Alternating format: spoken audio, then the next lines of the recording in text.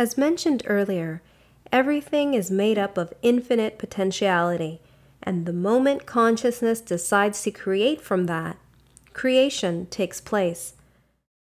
The findings of physicist Thomas Young in his famous double slit experiment helps to show this, and while doing so, sheds light on the quantum field and how our entire reality operates. And here we are, the granddaddy of all quantum weirdness, the infamous double slit experiment. To understand this experiment, we first need to see how particles, or little balls of matter, act.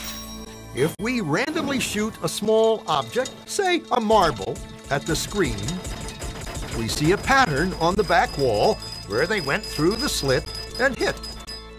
Now, if we add a second slit, we would expect to see a second band duplicated to the right. Now, let's look at waves. The waves hit the slit and radiate out, striking the back wall with the most intensity directly in line with the slit. The line of brightness on the back screen shows that intensity.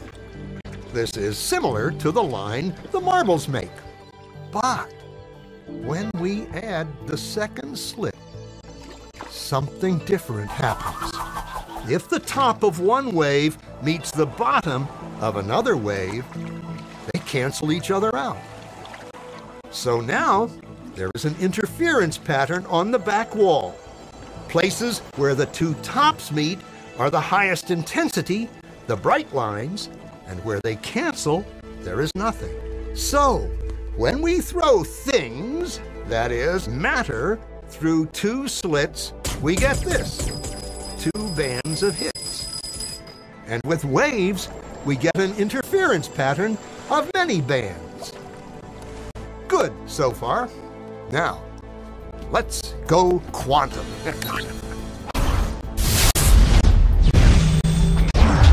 An electron is a tiny, tiny bit of matter, like a tiny marble. Let's fire a stream through one slit. It behaves just like the marble, a single band. So, if we shoot these tiny bits through two slits, we should get like the marbles, two bands. What? An interference pattern. We fired electrons, tiny bits of matter through. We get a pattern like waves, not like little marbles. How? How could pieces of matter create an interference pattern like a wave? It doesn't make sense. But physicists are clever.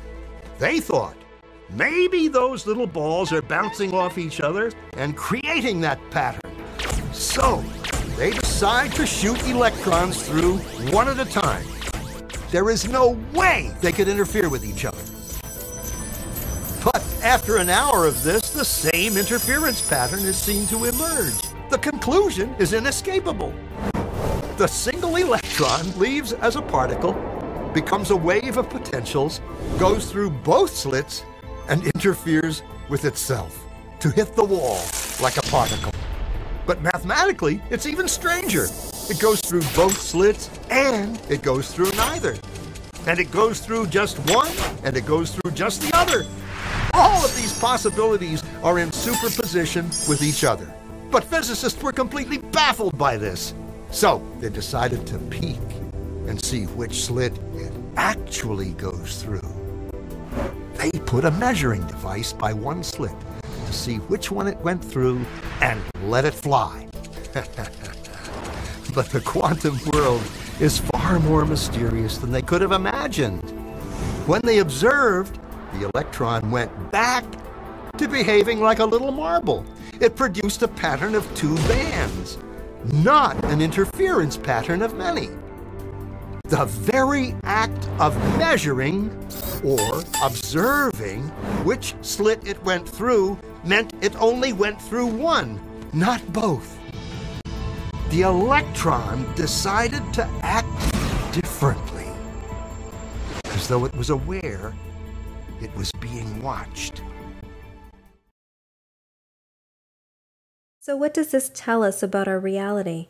It tells us that the moment there is consciousness viewing and defining how things should act, the infinite potentials act in that manner. The electron acted in the way consciousness defined it should act. We see two slits, we have particles. We define that they must pass through the two slits and create two lines on the other side. However, before it is defined, the particle carries out every possibility. It is limitless. Consciousness, the observer, who we truly are, is in control of our entire reality. How we define our world and what plays out is entirely up to us on a collective scale. The world is infinite potential and infinite possibility. Our consciousness can shape it in any way we choose.